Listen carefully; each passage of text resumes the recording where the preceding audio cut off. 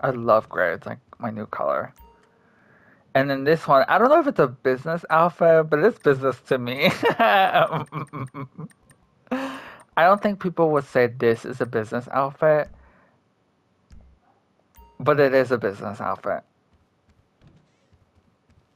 She's like, girl, this is not a business outfit. it is a business outfit. What are you talking about? No, this isn't cosplay, whatever. This is isn't bitch. This is a business outfit. What are you talking about? It's like it's literally like what? Who wouldn't wear this?